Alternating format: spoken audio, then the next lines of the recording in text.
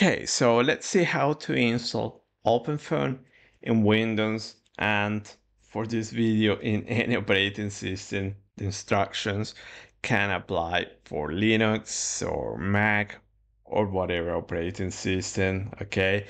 So important sense that all the instructions that I'm going to show you will be using Windows subsystem for Linux, okay? So if you don't have it, please install it. We're not going into details. The installation is very straightforward, very easy. So just follow the instructions in this website.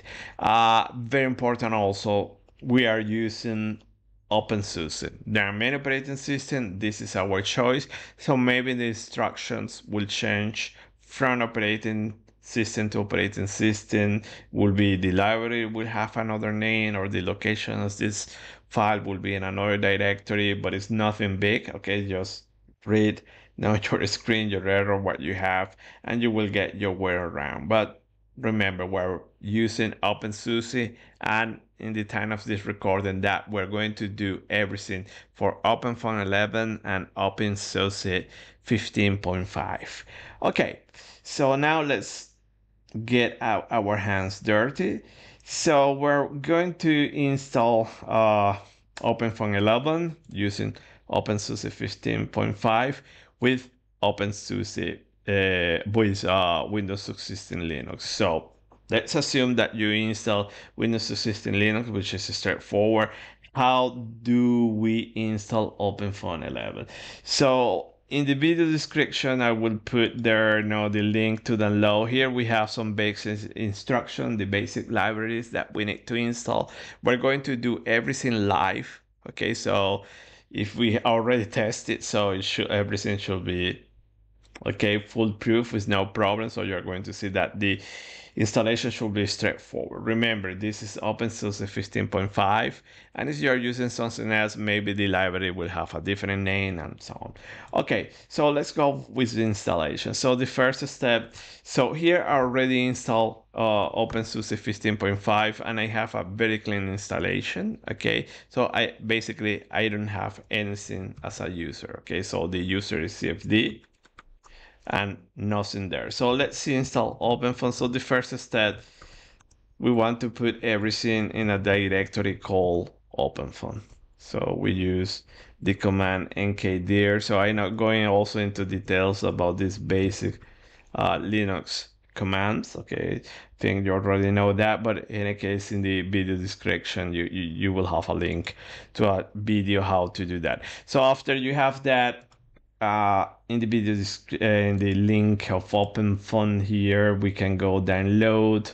We want to download the repository. Now let me go source code here and we can download the latest revision okay? So you have some basic libraries so see that already the people from OpenFOAM are giving you this instruction. So this instruction will work However, depending on your Linux version, you might need to change one word here or there, but it's not a big deal. So let me let's do the first step, which is downloading OpenFOAM. So this is here. You go there. Let's download, and I want to download OpenFOAM 11. Okay, so what I want to show you that this is not going to work because we're missing some libraries. So libraries or programs. So it basically is missing the program GIT. So if you go here, you will see that it is asking no it's telling you that okay you need to install some basic program so let's do this however i'm going to give you as i told you uh oh, we already tested and we know all the libraries that you have here so here i have the libraries that we need to install and let me do it here for you so in the video description, you will have the link to just to get this installation file. So we go here, we install these files. Uh, in this version, I put the root password and it's going to install a whole bunch of programs. And we're going to do exactly the same voice this one, this one, this one, so on. So up to this point, we're going to have all the programs. And then we have some additional libraries that we're going to see later. But basically, we're going to install now the most important pro uh, libraries. Okay, so now we go next step. We would be this one. Okay, so pay attention to the libraries that we're installing. And remember that if you're using another operating system, it might be that it is called now the program of the library will have a different name and so on, but it's not a big deal. Okay, you can find you can find that very easy.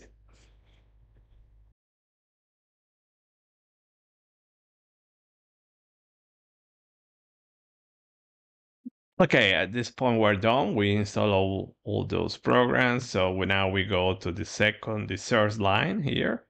Just copy and paste and everything is installed. Okay, now let's move to the other one. So these are the most, basically the most important ones. Now here we have the compilers and developer libraries, MPI, C++, and so on. Very important. Then we move to this one that we have the X11 uh, libraries. So let's copy and paste. So remember, we're installing the basic libraries. You can you can install much much more. It's up to you, but this is the basic libraries to get OpenFOAM running.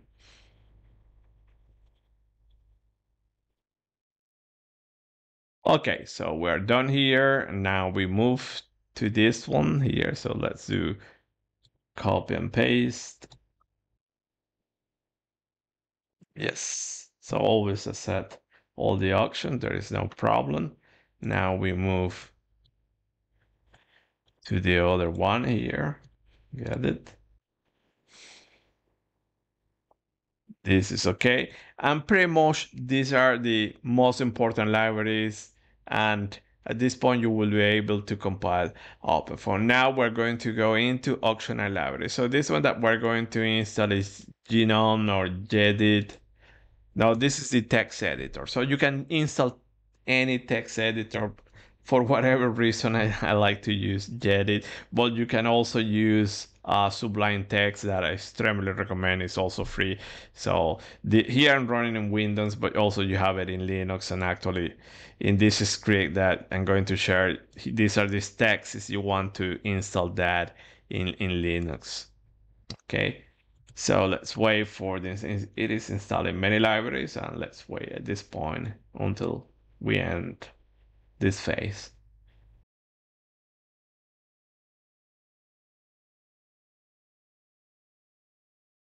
Okay, so we install the basic libraries and now we can go and install now we were in this final step gedit. It's a nice editor, but there are many of them. It's up to you for whatever reason I like this one. So we installed Gedit. It will it will install some other dependencies and just to show you Gedit, basically you type there there in the terminal, you get this one and then you can just edit your text files. Uh, important that it might look very small the text here, but you can you can change now your text. You have preferences to increase now the the text size and so on, but also you can change your screen resolution. So it's not a problem for me. It's okay. I'm not going into details, but you can change all that stuff. Okay, now that we installed this one, you have also Sublime Text. So let me show you also. This is, as I say, this is copy and paste. So the instructions that I'm going to give you, they are foolproof. So this is, we add repository here. Okay, we enable that put it there, everything okay, and now the final line will install Sublime Text, which is a fantastic text editor. It is free, so I strongly recommend it. Uh, it's, it's very handy. Yes, and there you go. So to run Sublime Text, you type in the terminal subl, and there you go. This is Sublime Text. So see that this is Sublime Text in, Lin in Windows, and now you have it in Linux. Windows succeeds in Linux. Same stuff that maybe the text will be a little bit small. You can change that in the screen resolution. It's not big, big of a deal. Okay, so now we have these basic tools and there are some other tools here. So now the next step before compiling everything, these are uh, tools related to uh, Qt, uh, Qt5 and VTKs. This is for the compilation of ParaView. So if you if you don't want ParaView, don't pay attention of this. But if you want ParaView, you can install this library. Again, it's just copy and paste. So we use this one. This is a very important library, and this is many people ask us how do we compile ParaView, you know, in OpenSUSE because everybody has problems you now in the compilation. It's an error with some missing libraries. So this first library that you have here is the most important one. So you see here that I put bingo, that one will resolve this problem with the Qt help. Then you have the other libraries. Yeah, speaking, all of them are important. So just to mention that is you have older version 15.4 and 3. This is the libraries that you should use to solve that problem that you might have when installing. Again, remember this applies only for OpenSUSE. If you're using Ubuntu, it would be different. Okay, I'm not an Ubuntu user, so cannot help you much there. Okay, so we install the other libraries, yes. And so far, everything is clean we are super happy. We have it there. And this is also this is an optional library. I also recommend it. You need it but I recommend it to install. Okay so sometimes you have maybe some plugins in ParaView and you want to use some scripting. So you need those libraries. It tends it is as you see it is installing many files but I recommend just to to have like library also available. Okay, so let's wait and then we move to the next step.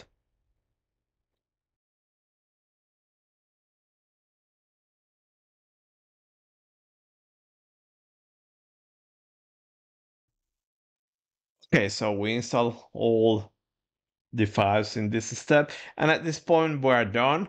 We can go and uh, download the library so important. I'm following these steps here, but remember that there are some extra steps. Okay, so this instruction that you have in the website of OpenFOAM the original website, they're not complete. They have some missing libraries. So I'm giving you the complete the complete stuff, all the libraries. So the next step is this one to download. So here, just again, you can go copy and paste Let's put it here. We're in OpenFOAM, so this is going to download the library. So we're downloading OpenFOAM 11. And then we can use this one, copy. Okay, and I put it there. And there you go. I have it there. So at this point, pretty much we're almost, almost there to do the installation. So the final step between uh, before compiling is that we need to add these lines in our bash RC. Okay, this is our environment variable. So as you go, let me use, okay, let me use Sublime Text. Is bash RC. Let me increase there. And basically we want to add this information, look at that, you just need to copy and paste. So basically here we're given the location of the MPI library. For some reason in OpenSUSE, the MPI library is located here, no? It's not located in the user bean that automatically is going to find it. So you need to explicitly define the location. So you need to give this, okay? Otherwise, when you try to compile uh, it will complain that it doesn't find the libraries. It's not only OpenFOAM any other application that use open or, or MPI will comply. And then you have, these are the aliases. I like to work with aliases to source different versions, okay? So here, kind of I'm going ahead of time. This one will be v2306, okay? So here we're going to install C uh, OpenFOAM version 11, but also 2306. So that will be the next video. But very important to install, when we install this one, if we will fulfill all the requirements for this one, likely this one also will compile, okay? There will be a few extra steps later I'm going to show you, but it's not nothing, no, too different from what we have done. So you do this, you can close. And at this point, pretty much we can go and we can keep now here. Uh, okay, we need to source this bash rc file. Okay, so sorry. So to source that, we modify that. We source it, and now if I type foam, uh, sorry, OF 11 to load that the OpenFOAM version and now if I type foam and if it goes to this directory means that I have everything I ready to go. So at this point we can go ahead for the compilation. So the compilation we can go and compile right right ahead OpenFOAM so see that the step I mentioned that how to update everything and so on. So you can go and compile OpenFOAM all the solvers and everything or you can compile first ParaView very important, you don't need to compile ParaView, you can install the precompiled binary, but I want to show you the compilation now that everything goes smooth. So here you have the instruction, okay? So first it will tell you, okay, you can go, okay, install ParaView, okay? So let me go, let's see the steps here, okay, this one, this one, and yeah, let's go to ParaView.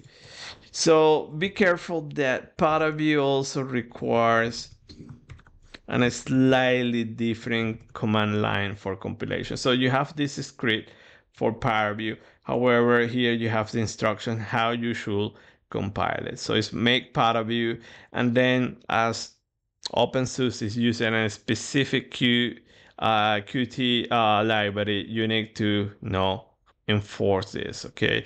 So be careful about that. I don't know about uh, ubuntu but yeah be careful of this. You have about this you have the instruction there. So you just go type that and off you go. So it's going to then load open for uh, ParaView the source code and then it's going to compile ParaView. The compilation is a little bit time consuming. Okay, I don't know how it will take. So let me also launch here just to show you that this compilation uh, happens in parallel.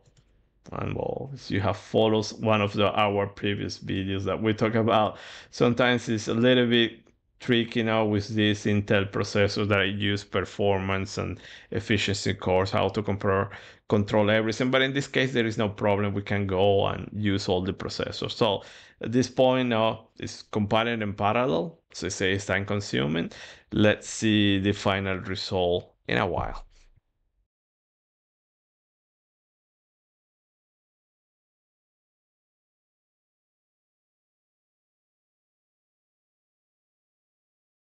Okay, so at this point, the compilation is done. As I told you, it should go out of the box with no problems. So here, always read that it's telling you that you need to type this command just to, let's do it. It will update the environment variables and so on. So wmRefresh. And just to stress that we have, oops, I closed it there. Oh, joy. We have followed exactly the same steps that we have here. So first, we install the dependencies. Remember I told you that these dependencies might be incomplete. It's not a big deal, but in the video description, you have a link to this file okay, where we have all the dependencies to install because here there are some missing dependencies. then the next stage just download your version. So here they put dev, just put the number of the version that you want to install. So we're in OpenFOAM 11. So in the future probably will be 12 and I hope the instruction will be exactly the same. So it will be a fast video in the future. And then we go to the next step with that we updated the uh, source environment bash RC. We source everything, which was here, these steps to go to the video, to the uh, text file. Now we added this where we have the MPI libraries and the aliases and so on. And then we just install ParaView, okay? We use this command to install ParaView. Remember that we added here this extra option, this extra flag to find the specific library. So we have a fully working installation now of Paraview. Now we go to the installation of OpenFOAM. As I told you, this might be a little bit time consuming. So I go here, a wmake, and I use minus J, and it will use all processors. So just to stress this one that this computer, this is a portable computer, this new crazy processors. I have 24 cores. So all this stuff, we hopefully we're going to see blue and the compilation will be very fast. So let me go here and we're going to wait a little bit. I'm going to mute the microphone, okay, because also the computer will be it will go crazy. Okay, so remember also when we compile, Paraview, we compile in this library. Then to compile OpenFOAM, we need to compile it in this library, in this directory, sorry. So let me type there. And as I was saying, the fan in my computer will go really loud because all the cores will be compiling, but actually it's a fast compilation. So where record probably will be like six or eight minutes, which is formidable. So let's wait a little bit and see you later.